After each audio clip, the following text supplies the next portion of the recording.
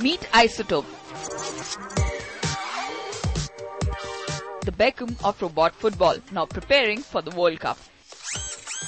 And in case you are wondering who taught him how to play, meet his maker and mentor, 18-year-old Devakar. Over 130 countries will be participating here and I am the youngest participant from all over the world. Some achievement that, but there's lots more to robots than just entertainment. Robots will have a major role to play in making our lives easier in the future. This will lead to requirement of skilled people who can design, build and market robots and robotic machines. Like Robosoft, this Mumbai-based company has created a duct robot, a robot that cleans the AC ducts. Machines like our duct robot, which goes inside these small ducts where human being cannot go, and it is pretty dirty to breathe inside and you just have a guy who's controlling the machine from outside and the duct is completely cleaned.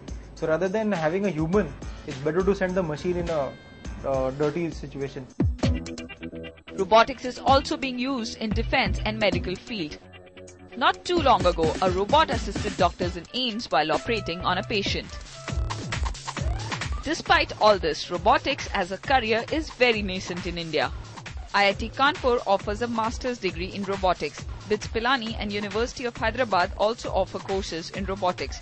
Also, some private companies like Robosoft and ThinkLabs are actively teaching robotics in schools. Bottom line, do not underestimate what a robot can do. Look at our little isotope here. He can play football and can even dance. Now moves like those in game and dance, only an android can do that. No offense boys.